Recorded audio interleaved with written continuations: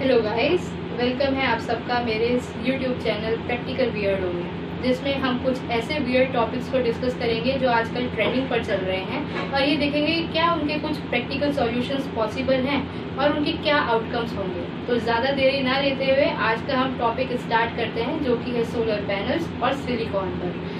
तो सबसे पहले मैं इस टॉपिक टॉपिक में आपसे ये डिस्कस करना चाहूँगी कि आखिर सोलर पैनल होता क्या है और सोलर एनर्जी क्या है और सोलर एनर्जी की ज़रूरत क्या, ज़रूरत क्यों पड़ती है इसकी? तो अब हम ये देखते हैं कि सोलर एनर्जी क्या होती है। सोलर एनर्जी इतनी इंपॉर्टेंट क्यों है? सबसे पहली बात solar energy is a green energy green energy का मतलब ये होता है कि ना ही इसमें हमें कोई पॉल्यूशन देखने को मिलेगा, ना ही इसमें हम यह देखेंगे कि किसी तरीके का केमिकल्स निकल रहे हैं या किसी तरीके का बहुत ज़्यादा इन्वेस्टमेंट हो रहा है। यही तो इसकी सबसे बड़ी बात है। तो क्या प्रॉब्लम है कि जो हम आज भी सोलर पैनल्स को अपने इंडिया में इतने ज़्यादा सेटअप नहीं कर पा रहे हैं? गवर्नमेंट बहुत कुछ कर रही है। नो no डाउट बहुत सारी पॉलिसीज़ हैं जिसमें हम इस वीडियो में बात करेंगे। सबसे पहले मैं आपको बताती हूँ कि सोलर एनर्जी होती क्या है? तो सोलर एनर्जी हमारी इस तरीके की एनर्जी है जो कि हमें सन से मिलती है। यस एंड सोलर एनर्जी को पाने के लिए हमें सोलर पैनल्स की आवश्यकता होती है मतलब ज़रूरत होती है। तो सोलर पैनल्स इतने ज़्यादा क्यों अफोर्डेबल हैं, क्यों इतने कॉस्टली नहीं है, उसके बारे में भी डिस्कस करेंगे। तो सबसे पहली बात सोलर पैनल एक तरीके की ऐसी चीज़ है, यदि इसको हम अपने घरों में लगा दें एक बार इन्वेस्टमेंट कर दें तो आगे के 20 से 30 साल तक के लिए हमें फ्री एनर्जी मिलेगी। यस करेक्ट फ्री एनर्जी है ना कितनी प्यारी बात? यही तो इसकी खास बात है। और, पर इतनी अच्छी चीज़ है तो इसका कुछ ना कुछ डिसएडवांटेज भी होगा, कुछ ना कुछ प्रॉब्लम्स भी होंगी। तो सबसे मेन प्रॉब्लम जो इसकी है, वो ये है कि हमें ये जो इस टाइप की एनर्जी है, वो सिर्फ़ जब मिल पाती है, जब हमारे आकाश में मतलब स्काई में सन होता है मतलब सूर्य।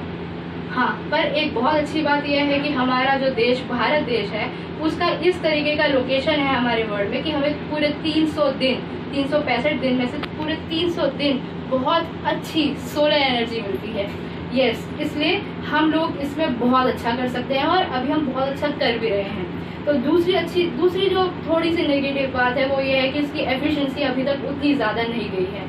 इसकी एफिशिएंसी 40 टू 50 परसेंट है पर हाँ अभी तक मतलब प्रैक्टिकल वे में देखा जाए तो हम अभी थर्टी टू फोर्टी परसेंट के बीच में ही लाई करते हैं। उसके बाद जो उसका सबसे नेगेटिव पॉइंट है, पर हम उसको कहीं ना कहीं आज अच्छी तरीके से डिस्कस करने वाले हैं, वो ये है कि इसके अंदर जो यूज़ होता है सिलिकॉन यस करेक्ट सिलिकॉन हमारा देश कहीं ना कहीं सिलिकॉन बनाने में बहुत दूर है। इसी को भी हम देखेंगे कि क्या प्रैक्टिकल इसके क्या प्रैक्टिकल सॉल्यूशंस हैं जिसमें हम सिलिकॉन बना सकते हैं अपने ही देश में और बहुत ही बहुत ही कम अमाउंट में। सो so, सबसे पहले मैं आपसे ये डिस्कस करना चाहूँगी कि सोलर पैनल में ऐसी क्या क्या चीज़ें होती हैं जिसमें हमें हमें इन्वेस्टमेंट करना पड़ता है? तो सोलर पैनल सोलर पैनल के पार्ट्स क्या क्या होते हैं? सोलर पैनल में सबसे पहले फ्रेम होता है ग्लास होता है ईवीए होता है। ईवीए में हमें जाने की बहुत ज़रूरत नहीं कि क्या है, क्यों है। फिर है सोलर सेल फिर sheet and then junction box तो हम आज फोकस करेंगे सोलर सेल पर। मैं एक आपको बात बता दूँ कि इतना अच्छा होने के बाद भी इतना ज़्यादा पॉपुलेशन होने के बाद भी हमारी इंडिया में, अभी भी हम बहुत दूर हैं सोलर सेल और सोलर पैनल्स को बनाने में। सबसे आगे कौन है? जर्मनी फिर चाइना जापान इटली और यूएसए हाँ दोस्तों, सही समझा। चाइना सेकंड नंबर पे। तो इसे हमें कहीं ना कहीं टैकल करने की बहुत ज़रूरत है। सोलर सेल सोलर सेल में सबसे ज़्यादा क्या है? सिलिका सिलिका से ही बनता है। तो हमें मेन क्या करना है? हमें सिलिका को कहीं ना कहीं से एक्सट्रैक्ट करना होगा।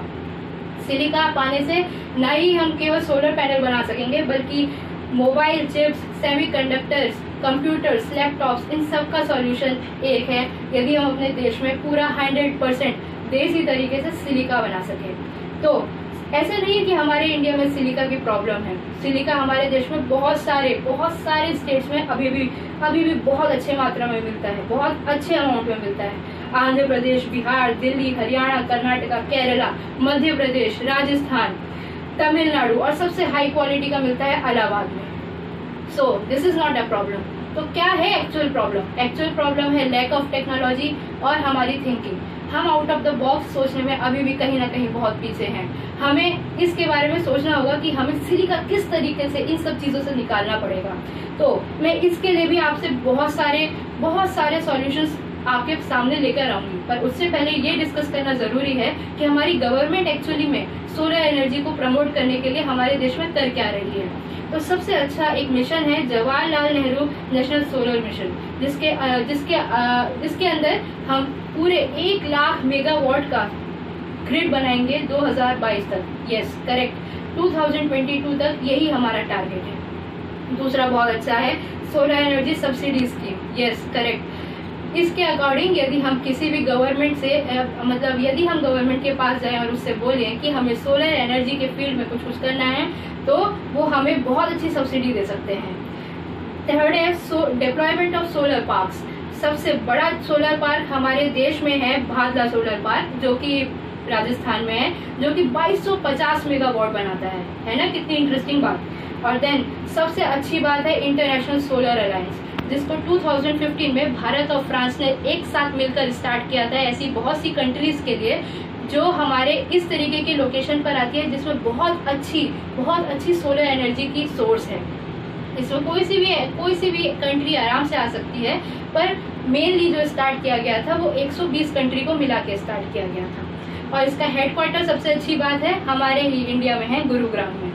सो so, अब हम पॉसिबल सॉल्यूशंस को डिस्कस करते हैं कि ऐसा क्या सॉल्यूशन हो सकता है कि हम सिलिकॉन को हमारे ही देश में बना सकें। तो मैंने बहुत सारे रिसर्च आर्टिकल्स पढ़े मैगजीन्स पढ़ी बहुत सारी इधर उधर से गूगल सर्च मारा और सबसे अच्छा जो मेरे को मिला हम इसका सॉल्यूशन अपने देश में बहुत आराम से ढूंढ सकते हैं। और सबसे अच्छी चीज़ है हम इसको एक्सट्रैक्ट कर सकते हैं एग्रीकल्चर वेस्ट से। यस करेक्ट एग्रीकल्चर वेस्ट कितना ज़्यादा हम, ये तो बहुत अच्छी बात है। क्यों? क्योंकि हमारे देश वैसा भी कृषि प्रधान देश है।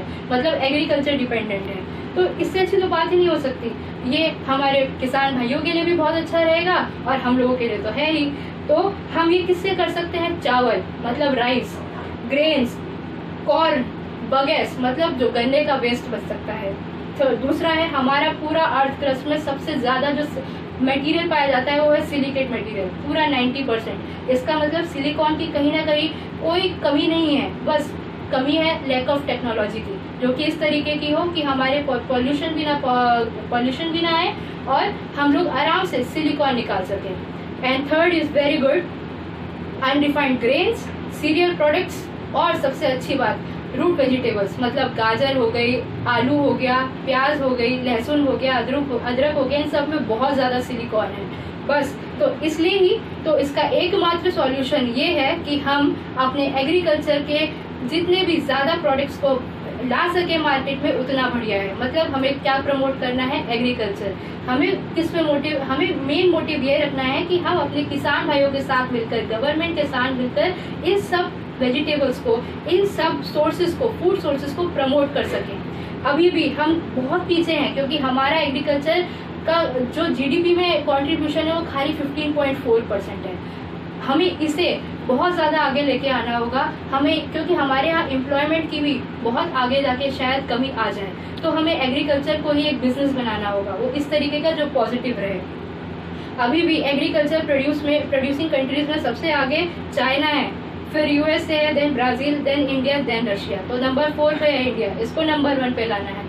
मुझे पता है, यह पॉसिबल है और हम सब मिलकर ये कर सकते हैं. हम सबको ये मिलकर करना है. मैं आपके साथ ऐसी ही वीडियोस लेके फिर से आऊँगी. आप, और यह उम्मीद रखती हूँ कि आपको ये वीडियो बहुत पसंद आई होगी. और यदि ये वीडियो पसंद आई है तो अपने दोस्तों के साथ इस बारे में ज़रूर बात करिएगा कि हम सोलर एनर्जी के फ़ील्ड में कैसे काम कर सकते हैं सिलिकॉन को कैसे बना सकते हैं. और हम इस सबको प्रमोट कैसे कर सकते हैं? आप इस इस चैनल को ज़रूर लाइक करेगा सब्सक्राइब करेगा और इस वीडियो को ज़रूर शेयर करेगा। और जाते जाते एक टिप आजकल बारिश का सीज़न स्टार्ट हो चुका है। तो कोरोना के चक्कर में यह मत भूल जाइएगा कि आसपास बहुत सारी और भी डिसीज आ सकती हैं। तो पानी का ज़्यादा का ज़्यादा सेविंग ना होने दें इधर उधर गंदगी का। और अपने अपने आप का ध्यान रखिए सेफ़ रहिए घर में और हम फिर से मिलेंगे। जय हिंद।